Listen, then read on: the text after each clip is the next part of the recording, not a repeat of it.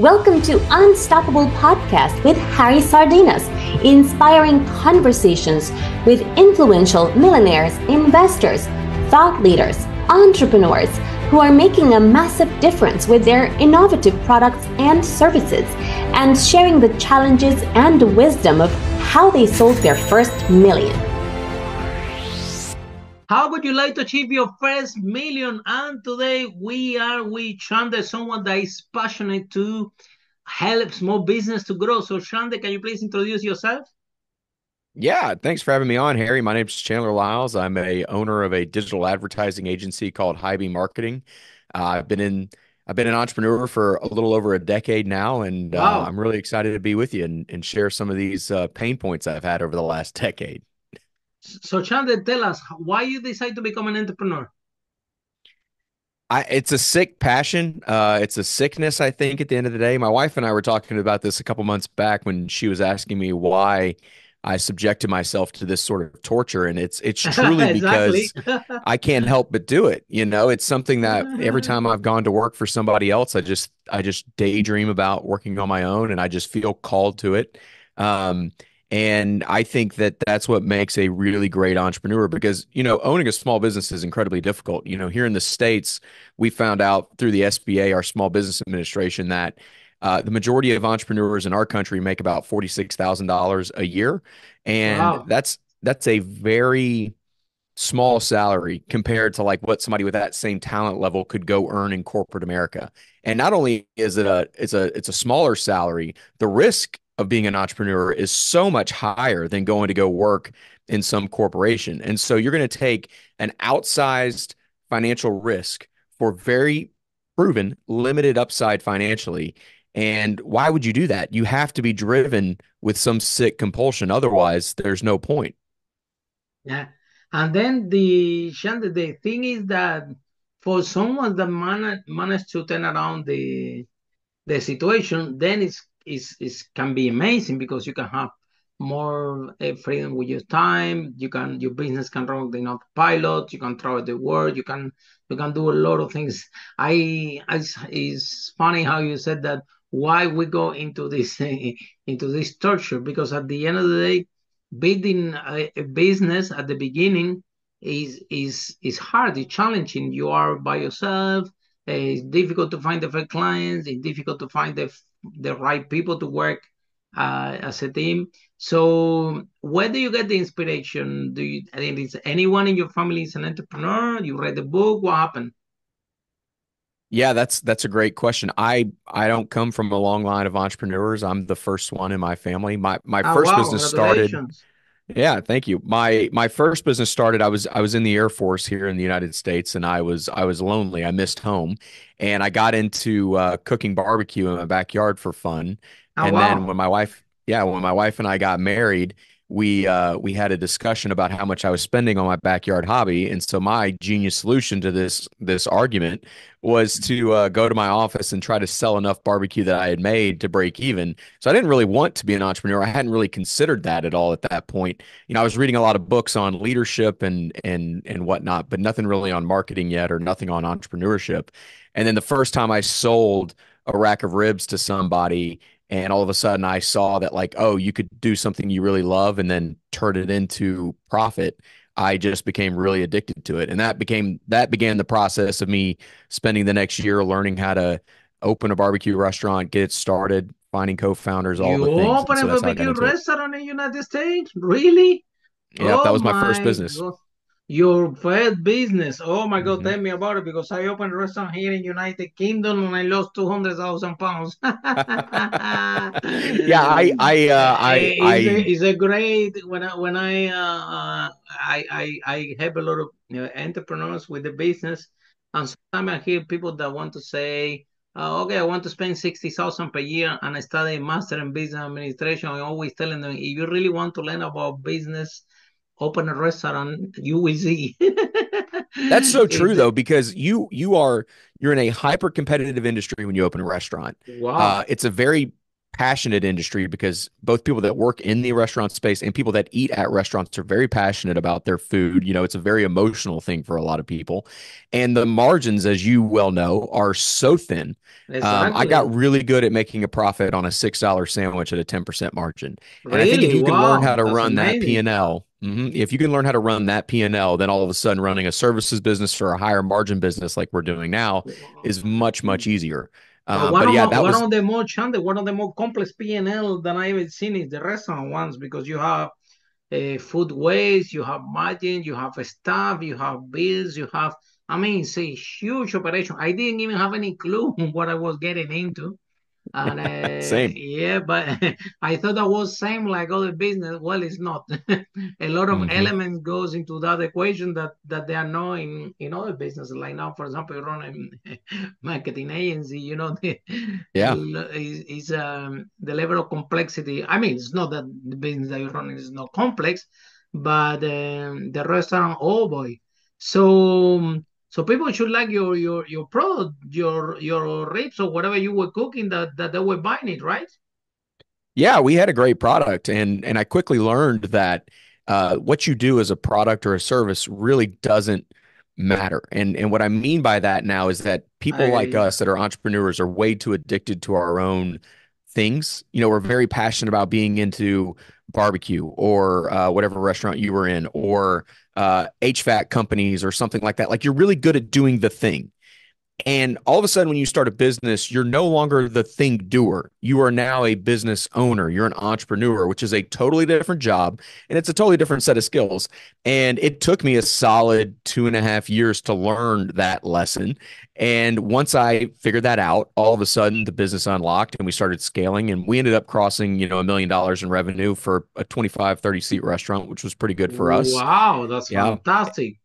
And the only thing wow. that stopped us from going from where we were in the beginning to where we were at the end there was was a level of education that I hadn't had yet because this was my first time owning a business. And what ultimately cost us that business was me not knowing what I was doing and having ego and a whole lot of other things that I'm happy to talk about. But I ended up crashing a business that I had built over six years. And within a period of like two months, all this momentum was just gone and you got to be really careful when you're when you're on your own entrepreneurial journey. The the rule i have now is you don't want to bankrupt the brand and you don't want to bankrupt the business. Those are the two things you, you. can't come back from. So any risk you take take risk. Entrepreneurs take risk every day and that's fine. But if the risk you take if it plays out and there's any chance that it ends up bankrupting your business or bankrupting your brand like in bankrupting your brand by the way that means like huge pr crisis you get canceled on the internet like something like that. Like are you taking a stand that you don't actually believe in and all those things? Mm. but if you can't come back from it then you're just out of the game and you get to start all over which is what i did. And i hope to only have to make that mistake one time. I try not to make the same mistake twice. I mean, Charlie, listen, well, there is no entrepreneur out there that that haven't done make mistakes. If I tell you about how many mistakes I make in business, you will cry here. I'm gonna depress you. So let's don't go there. you know what I mean? So uh, like I said, you know, like uh, for me, the same thing, right? Uh, I own several businesses. At I uh, I started a very re- real estate successful business here in United Kingdom. We sold over five million, talking about 15 years ago, right? And uh, and because I was bored, a lot of people talk about uh, about how to deal with failure, but nobody nobody talks about how to deal with success, right? Mm. And it happened that the business was running autopilot. I was making a lot of money, and then uh, because literally I was bored, and I did have a dream about to open a restaurant. Then I said, you know what? Rather than be here watching TV uh, and uh, at home getting all this money, let me go and find my another dream, which is open restaurant. Oh my God, the restaurant almost bring me to bankrupt and co- almost collapse the other businesses. And mm-hmm. again, it's what you said, lack of knowledge, right? Uh, and I like a lot what you said because um, business we learn by experience, right? And uh, and uh, the my issue with the restaurant, and I think like everybody's issue there, right? I think that my first business the property I got lucky. Sometimes you get lucky, right? You have a product that you can have a good margin, marketing cost is very uh, low, the cost of acquisition, and you make a good profit. And the mistake is to think that all business are like this. Mm. I just got lucky. However, the restaurant taught me the biggest lesson, and probably everything I learned, it was not from my lucky business, it was for that failure, right? And mm-hmm. the, my biggest problem was that same like you said, right? We are all very good at what we do, right? Meaning developing the product, right? Mm-hmm. But the product is only 20% of the equation. Nobody told me that. I it cost me 200,000 pounds to learn that, right? I, the it's a great uh, uh, college education. goes to marketing and sales. You know what I mean? If you mm-hmm. cannot mm. market and say that, and again, what you said, right? Uh, is the product the most important thing? I mean, the product has to be good, right? Because mm-hmm. if you have a good product, you have clients that come back for the product. But honestly, the fact that you can sell your product have nothing to do with the quality of your product. If you're mm-hmm. very good at marketing and sales, you will sell your product. The issue is that if the product is not good, the client won't come back again, right? You won't have mm-hmm. repeating clients, right? And people don't That's understand right. that, you know, that everybody put all the energy, um, all the effort, uh, because we don't know anything any better, right? In mm-hmm. oh, let me have the perfect barbecue, let me let me have the perfect product and everything, and then you put all your knowledge, or your energy, or your money, create the most amazing product, and then, huh, who's gonna buy it? I don't have resources. Yeah. How am I gonna bring all these people to buy it? I already spent all the money. Um, and well, you is... can go you can go online and look up all the Google reviews in the world of places that have closed, whether it's a restaurant or your favorite ecom brand or whatever. And you look at these reviews and they're they're very popular. You know, they're very positive reviews. They're over four and a half stars a lot of times for these different things. And you got to ask yourself, why isn't this successful? If people liked the product, then this company should be successful. But you're 100% right. It's it's it's maybe it's 20% or whatever the number is. It doesn't really matter. The thing is, is that your product doesn't matter. What what matters is how many people know your product. You know, the story exactly. we tell. And this is how I got into marketing, honestly, now that I own a digital advertising agency. I'm I'm obsessed with this whole thing. It's not the best products that win. It's the best known products that win. Here mm-hmm. in the mm-hmm. States, we had a brand called Kmart. It's very similar to a, a Walmart or a Target. You know, it's like it's a huge big box store and they're gone. But here they were very popular for a very long time. And then they were just gone overnight. And it's it's not that they had an awareness problem. They had a emotional awareness problem. And what that means is that people knew who they were, but they didn't feel anything when they thought about them. And so mm-hmm. that's the second layer to being well known. Like, yeah, you got to be well known, but you got to create an emotion that drives people to do something you want them to do. Now, if you create a hyper negative emotion, all of a sudden that person is they're going to go smack talk you online. They're going to spread the word negatively to all their friends. Uh, they're going to make some decisions you're not going to like, and it's all going to be in the wrong way versus if your marketing and product create a positive experience all of a sudden they're much more happy to to go share that and bring it around. And so it's not you know i don't believe that all press is good press. I truly don't believe that. I think if you want to have a long-standing business it's built over and you know this right? It's built over decades of building trust mm-hmm. and it takes about four seconds yeah. to erase it. And you got to be really careful when you're when you're marketing your business that you're not just like trying to go get attention uh, because the attention will come with an emotion and it could be the wrong one. And so you got to be really cognizant of that. So we mentioned some, we mentioned some that you have for the entrepreneurs out there that you know maybe they don't have experience and they and they come and they will say, oh, you know what, I only care about have a good quality product. I don't care about the brand. I don't care about marketing. I don't, I don't care about sales. Uh, if my product is good, people will buy it.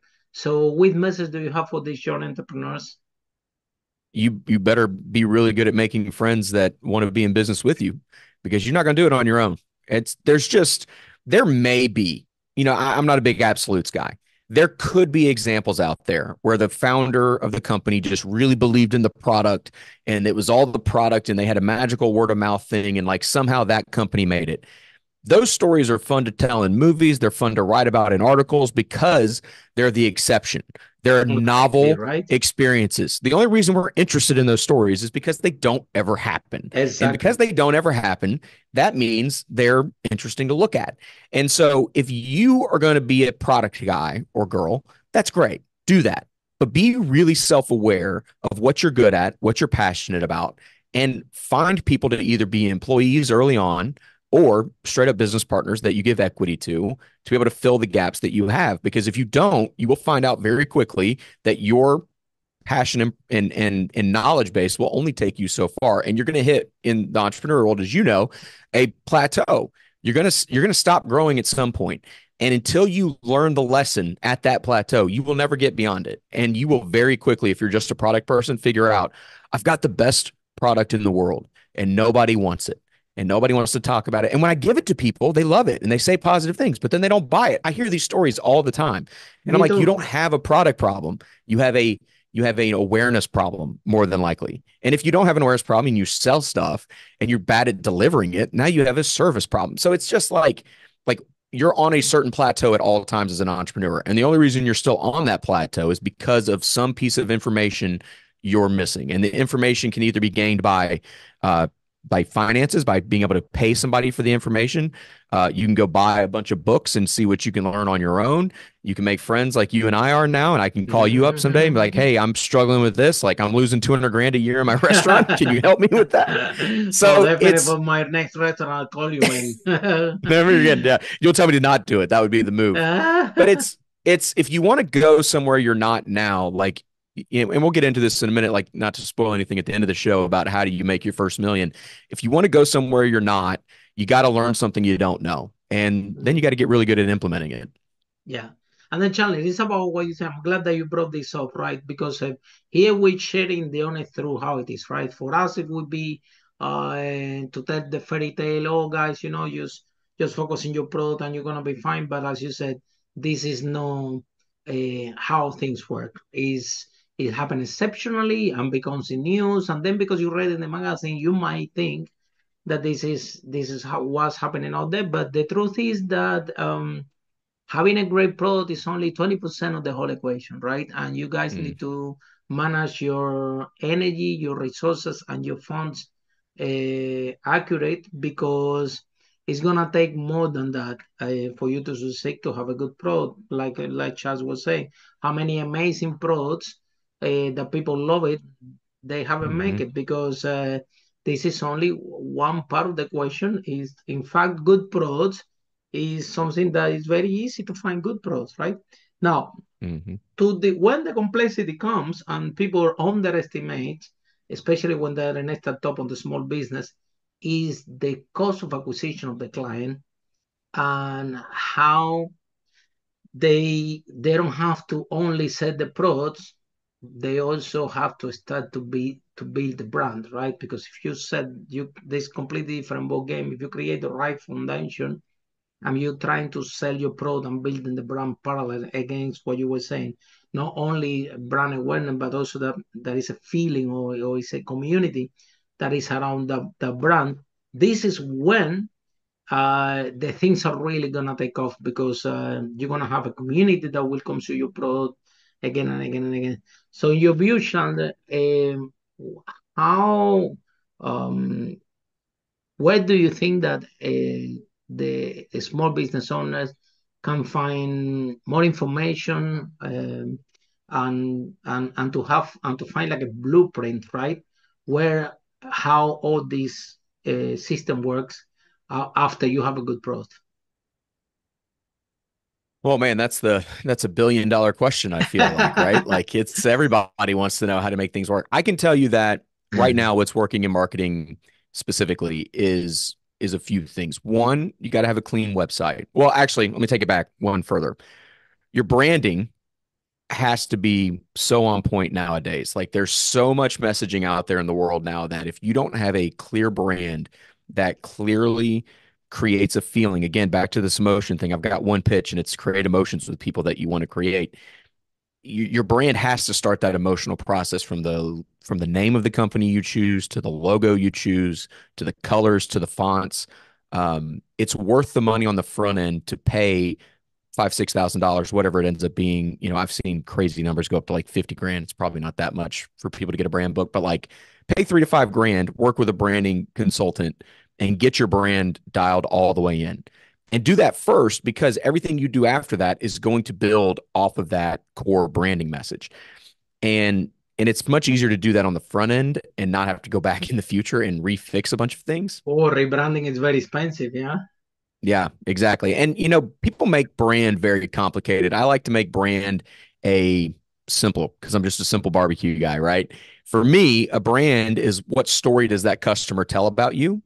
And the story can be either positive or it can be negative, but that's your brand to that person. And if you want to build a really big brand, i.e., like a like let's say McDonald's, right? International company, you know, thousands and thousands of locations.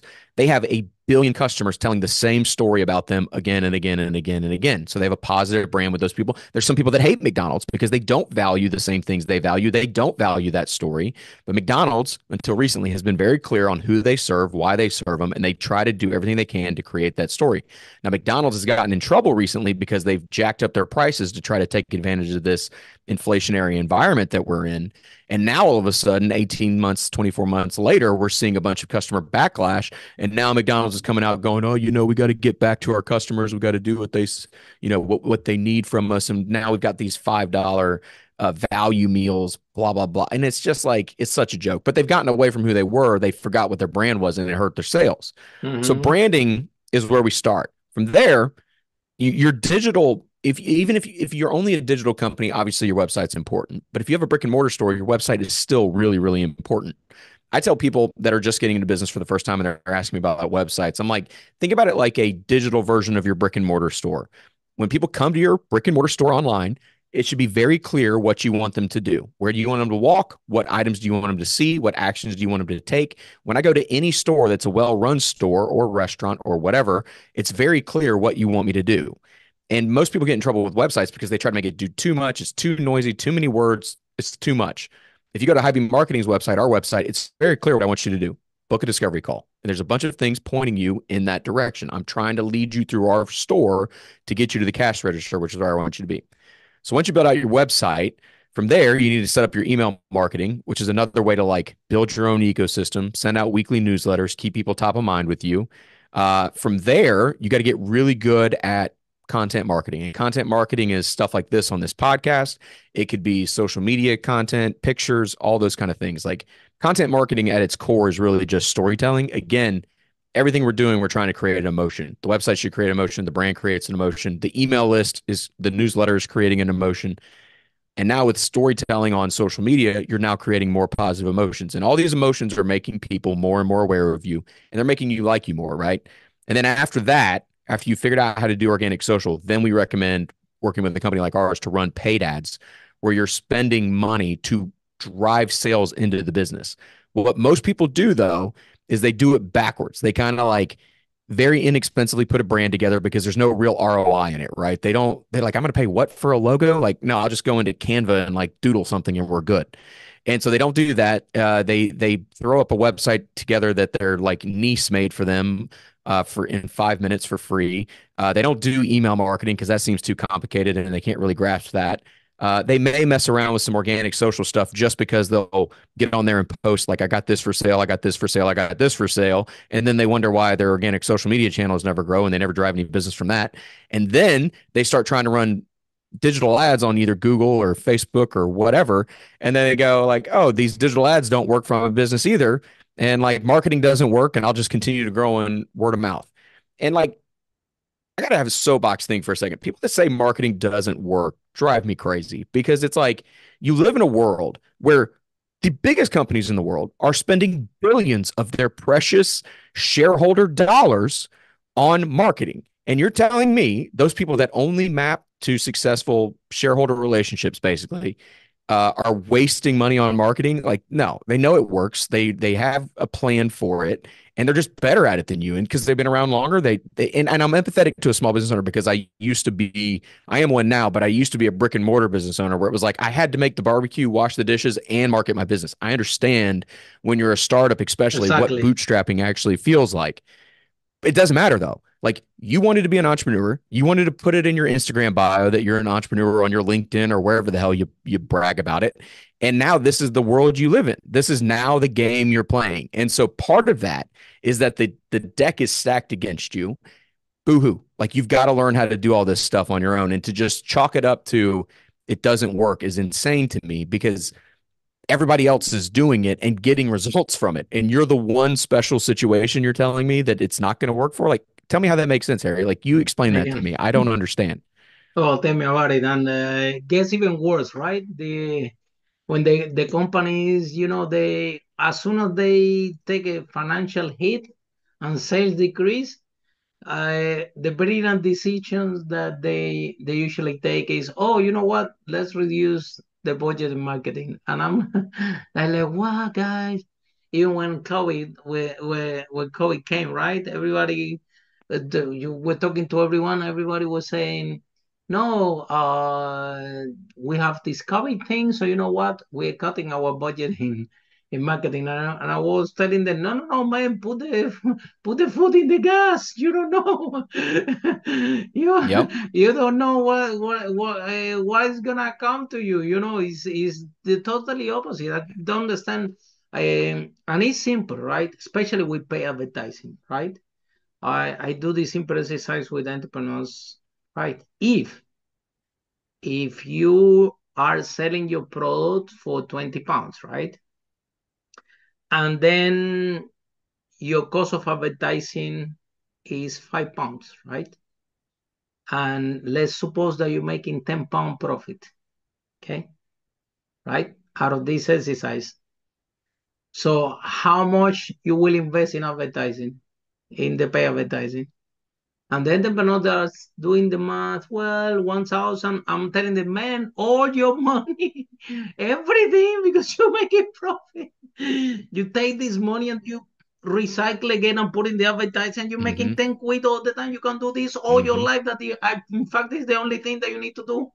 That's it. Mhm. You you're already sorted for life. And once you crack this equation, okay, and invested. The I think the the unrealistic thing that people think about it is like, oh, I have a project, the product, right? And I'm not gonna invest in marketing, I'm not gonna invest in everything, and the product's gonna sell out of the sky, right? And yeah, you you might say something, you know, your friends can tell your friends for referral, for this and that.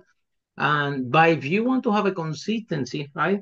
And this is where the challenge comes, is when you can design a marketing strategy that actually makes uh, a profit um, a profit um, exercise. I have one friend of mine, right? He specializes in in e-commerce, right? And and he's struggling finding clients, right? And he promised to every of his client that he will increase the conversion 20%, right? Otherwise they gave him the money back. Yeah. And I'm looking at my friend and I said, man, I don't understand why you're struggling finding clients because this is a no-brainer for everybody. They already have certain sales. You go in there and you tell them, listen, I will increase you 20%. You pay me monthly X amount. If I don't achieve this, I gave all your money back. Yeah. And still he's telling me, oh, hard, it's difficult to find the client because they don't see. But and I say, you taking away all the risks. So this, uh, Chan, this is what we think in terms of marketing, that people don't understand it's like an investment. It's like a cash point. It's like an, an asset. You just invest and you get a return. And uh, Mhm. why do you think that entrepreneurs have a huge challenge in uh, understanding this, uh, how Mhm. actually this work? Why do you think Yeah. a problem? Uh, they they they're worried about cash flow, and cash flow is the number one reason small businesses close. It's it's 36, 37% of small businesses here in the States close in the first five years due to cash flow issues or lack of sales, which really just translates to more cash flow issues. Yeah, but you advertise today and you sell your product tomorrow when it's online. But that's the but that's the thing is that you you most people look at that like I'm going to invest 10 grand in advertising. And the majority of businesses, you know this, don't get over a million million dollars a year, a million pounds a year in revenue. Like most businesses live below that threshold. And the businesses that live below that threshold, again, they have a they have a plateau they're at with a knowledge barrier or a talent barrier. And it, if it's a marketing thing, they don't understand that. Okay, I'm going to deploy my money. I'm going to invest it in marketing, and and then I'm going to get a return. And what what ends up happening, and we've seen this a lot. They they may have tried it at some point, but there could have been a couple things they did wrong. Number one, they hired an agency to do the ads for them, and in my world, agency gurus are like a dime a dozen. They're everywhere. Somebody watches a YouTube channel and all of a sudden they got an agency and it's it's just ripe, man. It's so bad. know what There's- you're doing, right? yeah. Then there's so many people that maybe they know, but maybe they're bad actors. I don't know. Like 80% of our clients right now have a bad experience with the previous agency. It's my number one selling uh, factor. I try to find out if you had a bad experience with an agency as fast as possible because I know I can sell it to you after that. Where I'm like, oh, well, let me tell you about what we've designed to fix that problem. So, like number one, they've had a bad experience in a previous relationship with an agency, and now they don't, they don't, they think all agencies suck. They think marketing is a joke, all the things, and so they're going to stay where they're at. Or they think, like most entrepreneurs do that are bootstrapping, I can just do it all myself, and I can do it better than anybody else, and and it'll be fine. Well, it's a Well, huge learning that- curve. Huge. you got to learn how to delegate, right? You got to learn how to get the right people on the bus and trust them to make the right decisions. And you know, you guide them and direct them, but that, that's a big skill set. Again, that's not doing the thing, right? It's it's owning a business now. It's a totally different skill set you got to learn. Uh, or the third thing is is that they just they truly have a belief that like marketing won't work for their business and they they're addicted to word of mouth and referrals and they like I I talk to my customers they say John or Jeff or Sally sent them in and that's that's word of mouth and that's free. And so we're going to just keep doing that. And it's like you you can't grow a big business on just word of mouth alone. It just No does not does not work. Um and so i think a myriad of those three problems plus the pressures of cash flow on a business under a million dollars in revenue create a perfect storm where these guys they just don't want or they're not excited at least to learn how to invest in marketing and get into it because it's expensive. Good companies. I mean we have we have some data on this but like you're spending anywhere between 5 and 25% of revenue on marketing and you're going to look at a guy that's pretty new to investing in marketing you're going to say hey like in your example every $20 i'm going to expect you to spend $5 to make it. And like i know that in a call i've done that like, this has happened to me so many times. On the sales call that sounds like a great idea well, what happens in month one, month two, when we're really doing eight, nine, ten dollars to get that twenty dollars? Because there is a learning curve to launching any new brand with advertising. And now all of a sudden they're going, this was not what I agreed to. This is this is half the revenue and da da da. And so it's like you gotta you gotta push through that. You like you said, you have to unlock how these ads drive revenue for your business. Um and, and then just figure it out. And like the worst part is is that even if you figure that out and you get good at the five for 25 thing that you're talking about, right?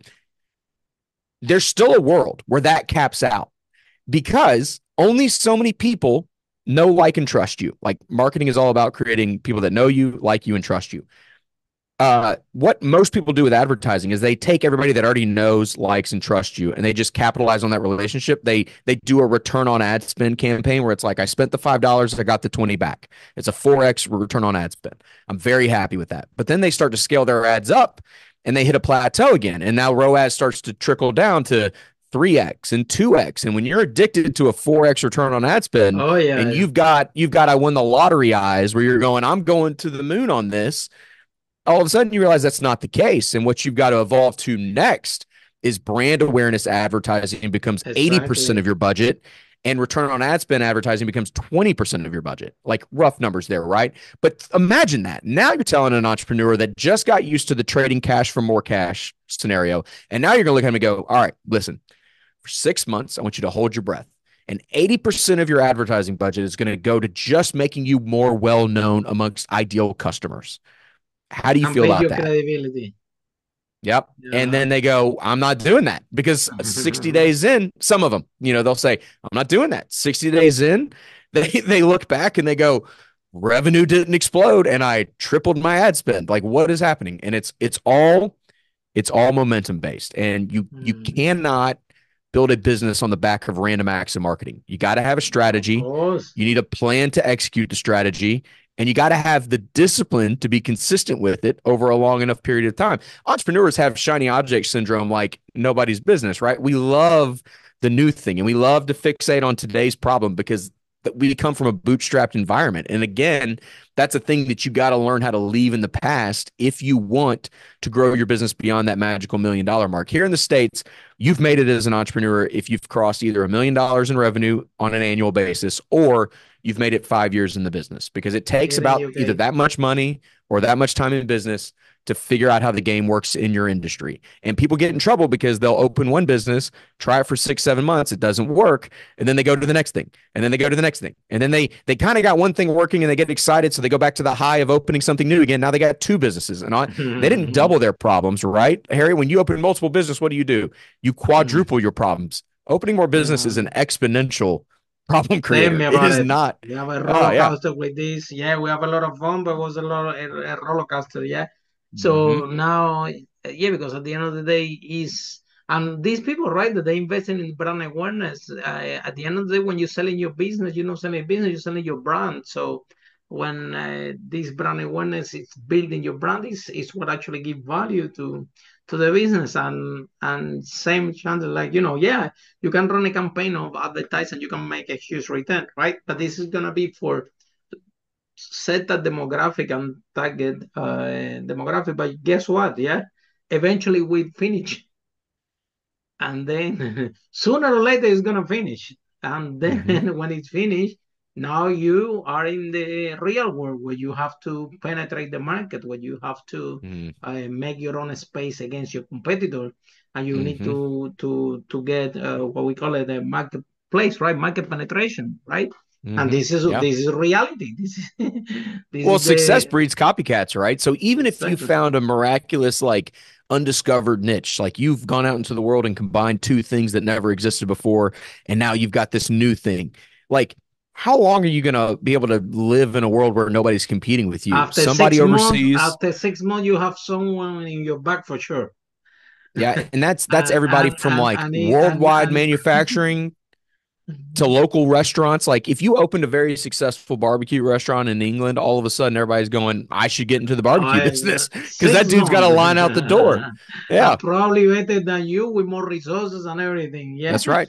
and better yep. know how. So mm-hmm. and then now you need to build your brand and you have to mm-hmm. make sure that you own a, a, the biggest share possible in, in the marketplace. So Sander, what are the mm-hmm. five steps to make your first million? So this is my advice, and this is uh, this is it works for me. There's probably a million ways to do it, but this is this is my my thought. Um, I think there's no better way to become a millionaire than to own your own business. I think that you can do it over a long period of time, investing in stocks, and you're kind of a business owner even then. You're just doing it on small little chunks over time. But there is no way, like you know, High Beam Marketing started three years ago. We've doubled our revenue every single year. Wow, and there's no return like that in the stock market, right? Now that is 10 years of me learning how to be an entrepreneur and one failed business already. So this is not a like don't hear me I'm not selling you a course. I got nothing for you here. Like this is not a 90 days to your first million. Yeah. That's right. So these are like five general concepts that that I, you know, that's all these book all these books behind me, they all fall into one of these categories. Like this is a continuous exercise for me to try to get better in these five areas. So the first thing I want you to do is like get comfortable with owning a business and being that's something you want to do. Number two is you got or like that, and so like owning a business isn't enough. Like you got to figure out what business to own. And so like I like to use a three uh, circle Venn diagram. Over one of the circles, you put um, what are you passionate about? What are the things, all the things in life you're very passionate about? Write them all in there. In the next circle that overlaps, right? What are you proficient in? So, like, what are you actually good at? You know, so in my example, I was passionate about barbecue and I was passionate about marketing proficient at. I'm proficient at both making barbecue and doing marketing. And then the third circle is probably the most important circle is the profit circle. You got to figure out how much money can you make with each one of these opportunities. Well, barbecue restaurants you can make so much money with. Marketing agencies as a B2B service agency, a lot more money. And so I was like, cool, if all things being equal, I'm going to use that as a thing. So that was the next business I started. So if you you start there, you figure out okay, what most people do when they start a business is they're like, oh, I just I liked this thing, and they just get into it, and then they're all of a sudden they look up five years later, and it's like, oh, I had a restaurant losing two hundred grand a year. Like, what are you doing starting a restaurant here? You just chasing you're just chasing the dream, man? What are you doing over there, huh? But it's like you would have avoided a lot of pain had you been able to go through that exercise on the front end where you go like, no, no, no, it's really real estate, and it's like let me let me do something new in real estate or something different or something more exciting, right? Like maybe maybe I rent the restaurants out because those triple net leases are a real piece of work. That's all I got to say about that, right? Uh, so that's the first thing. Second thing you got to get really good at is selling. You got to learn how to sell. Like even if you don't own your own business, the fastest way to make money in a job is to sell because that is the most important thing to any enterprise in the world. Like learning how to sell the thing. At the barbecue restaurant, I was able to upsell at the register. I was able to sell catering. I was able to practice a lot. Now Oh, at an wow. agency, I'm selling multi thousand dollar packages across a year. Like like without the ability to sell, you know, where you identify pain points and position yourself as a solution, like it's, it's going to be really hard for you to to grow your business. Let's say you invent the best uh, foot cream in the world that makes your feet smell like angels, right? Like unless you learn how to like tell that story and sell it one on one to people, you're never going to get anywhere. Because you're not just sell like in that world in that specific example now you're selling to wholesale distributors. So you're at trade shows and you're talking to buyers and you're going to have to sell why they should buy a giant pallet of this product and put it on their shelves. And if you're not good at selling you're not getting anywhere.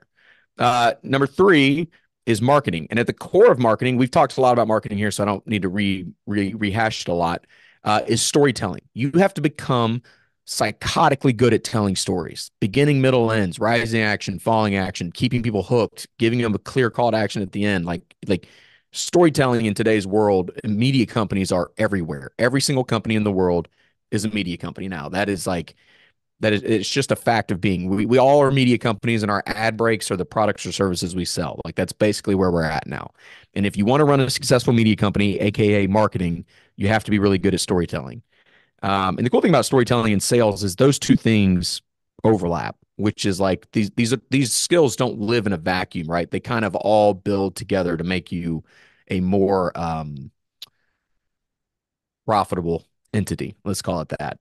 Uh, the next thing is operations. You have to learn how to operate. Like you got to learn how to organize people.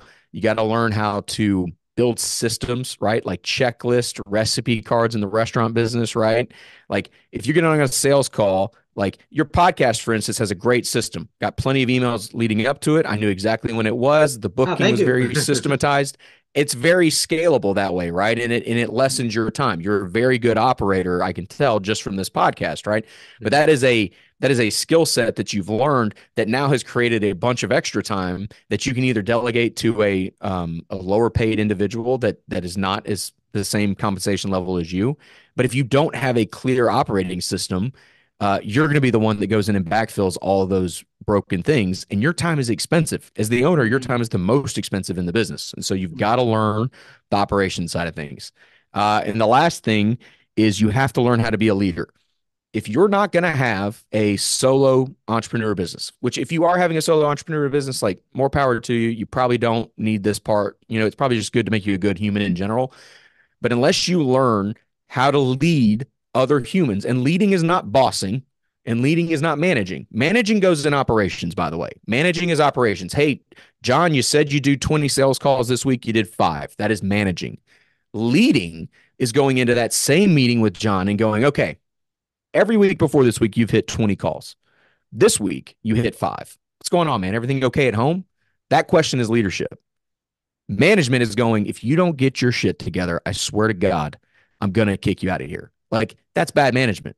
Good leadership is caring about the person, putting their needs first. Good leadership should suck for the leader. Like it's painful. It's it's it's both. It's like being a parent, right? I don't know if you have kids or anything, Harry, but like I've got two kids and it is both the best thing I've done in my life and the hardest thing I've done in my life. and if you're a good parent, it's a dichotomy between those two things all the time. And that's what leadership is. And so if you combine those five things, um, you can at least get to where I'm at because that's basically the lessons I've learned at this point. And I'm I'm sure there's some other stuff, some other plateaus that I'm at, some lacking education, and uh, I'm always on a continuing education journey. So any any recommendations you have for me, man, I'm I'm I'm all ears.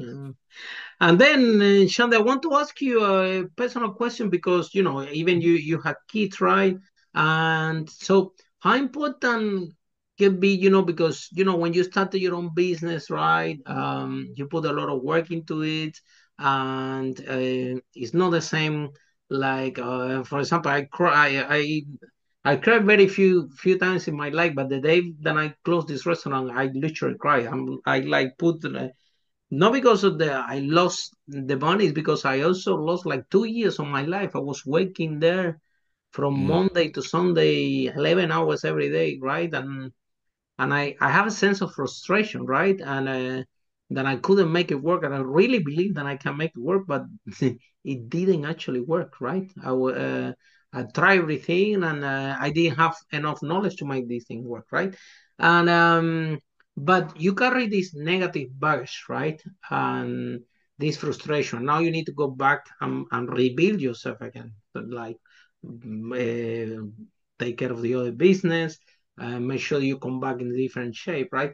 And all these negative moments and frustration, I think for sure for you should be the same. You know, like after working so many years of building a brand, a good product, somehow uh, you have to close it. So this anger and this frustration, right? How you manage to to funnel that, right? So uh, now you come back uh, with a different business like look, mm. for example, you are you are growing now in a mm. double every year, what it means that you actually have work on yourself, let all that um, negativity and anger go away and turn into a positive. So how do you find help? So do you do some meditation? Do you write some books? Mm. Uh, how do you manage to uh, to funnel all this because it's, it, it gets frustration. I know because I've been there and um, yeah. you you can you can end up in a place really really angry and you know shouting to your kids or to your wife they haven't mm. done anything to you you're just angry because you know you work really hard and didn't work so yeah. how you manage to work on yourself and and to grow personally and and and just accepted that this is business sometimes works sometimes it doesn't we need to move up and coming back in a different way i'm gonna do better mm. yeah uh I, I love that question because I, I think that is a that's something I underestimated or didn't even think about when I started my first business. I I like most entrepreneurs, I'm optimistic and I think to myself, I'm gonna be the biggest thing in whatever. And there will be nothing but sunshine and rainbows from here until eternity. And like, yeah, we might take some small losses, but like I'm not gonna be uh, one of these major flops, blah, blah, blah. And turned out I did because I'm an idiot and I did the wrong thing. And I I start with I read a book a while back by a guy named Simon Sinek called The Infinite Game. And The Infinite Game was a great book, but I'll give you the basic takeaway from it, which was entrepreneurship, commerce, capitalism, whatever, is an infinite game, which means it goes on forever. It's not playing, it's not like playing uh, football or soccer, right? Like that game ends and there's a clear winner and a clear loser most of the time. I know soccer's weird. Sometimes there's ties, but you, you get the analogy. Oh, yeah. Um, the last time I checked, in the city that my barbecue restaurant was in, and I'm sure the city they're in the UK where your restaurant is, there's still restaurants, and you've been closed for a while, and there's still barbecue restaurants where I used to live, and they're still serving barbecue. The game goes on forever, and so when I started the the restaurant originally as an entrepreneur, I thought if I just get here, I'll make it, and everything gets easier, and I'll live this lavish lifestyle, and blah blah blah blah blah. And after it closed, I got to do some reflection and some learning and some thinking about this whole infinite game versus a fixed game mindset. And I realized like, oh, it truly is the old saying of of the journey is the reward. And so you better get very happy with what you're doing on a day-to-day basis. And I had grown over 6 years to take for granted what I had built. I took for mm-hmm. granted the employees I had, the momentum I had, the money I had, the the, all the things. I took it all for granted because I was taking, again, bankrupting the business risk constantly. And they happened to all work. And then one time they didn't. And then the business disappeared. But I took it for granted. And so I got to take two years off and go work for another company, two companies actually, in between the barbecue restaurant closing and High Beam marketing opening in that two year span, I got to do a lot of reflecting. I got to be very grateful again for like, man, I wish I still had the restaurant. I don't have freedom. You know, like the minute somebody tells you what to do and you can go vacation here, you can do this here. You can't do this within the job, even though that's going to make it better. Like all those things bugged the crap out of me. And it, it was a good reminder. Why you become an entrepreneur in the first place, right? You remember. Yep. And so for me, it was that two year period in between where I got to reflect on all the lessons learned originally, plus the addition of this game doesn't end for any of us. Even if you sold for millions of dollars, like it still doesn't end. Like you you that particular game ended, but the seasons go on. And so mm-hmm. like what are you playing for? Like that's my question, you know? And so when you look at your restaurant that closed, I would hope at least based on my experience that you'd look at that and go, "Okay, here's what I did well. Here's what I'm going to take into the next business venture. Here's what I completely screwed up and I'm going to not bring into the next venture. And here's some things I wish I could have tried that I'm going to try to re reintegrate into the next thing, right? And so as long as you can do that, you'll you'll end up in a healthy place. And and again, back to what I said earlier, if you if you're constantly making the same mistake over and over and over again, like that's a you issue. And you're going to have to look into the mirror and go like, why am I constantly creating this same mistake? Why why can't I beat this one dragon and get to the next level? Right. And it's it's there's that's a whole other podcast, I think, probably. yeah, thank you so much. And uh, yeah, and at the end of the day, yes, we have to to work on ourselves and analyze what happened. But the truth is that you know every time that behind any failure of the entrepreneur, what we call it failure, is a big lesson. I think I'm more grateful for the times that I fail and especially the time that I lose money, right? And that that sounds weird, but you see, every time that I lose money is when I learn the most. Mm, yeah. Forever, yeah. I only so sometimes no this that, but when you lose money, you you you get the, that lesson right. You say, oh, you know what, this doesn't happen again because you know yeah. you lost money, right? So Harry, I'm the complete opposite. I've lost so much money now. I uh, oh, I, you're I a genius now. yeah, I avoid it like the plague. oh my god, you're an encyclopedia now because, like I said, you know when uh, they this is this is one stick, and in the end of the day, you know we we sometimes in business you get lucky, but at the end of the day, we we always said, you know, it's it's it's all about being a good entrepreneur. It's about developing developing a skill, right? Some of them we mm. get faster than the other one but this is no, you can read a lot of books and can help you out, but at the end of the day, it's like driving or swimming. The more you do it, the better you become, right? And yeah, you're That's gonna right. fail, but every time you fail, like Chandler did, you know, you you like we have all have done, we come back in a different form. At least you know what mm. you don't want in your life, right? After I was crazy about having this restaurant, but after I finished the restaurant, I have clearly, very clear picture what type of business I don't want to be in. That's right. So I choose yeah. carefully now what type of business I want to be, what I want, and what I don't want, right? And mm-hmm. so, and you can design because that's the other thing. You can design a nice business for you. One, you have the experience, and one, you have you after your failure, you mm-hmm. have you are in better position to design a business that works for you and also you know come allow you time to spend time with your children time with your family mm-hmm. time with everything.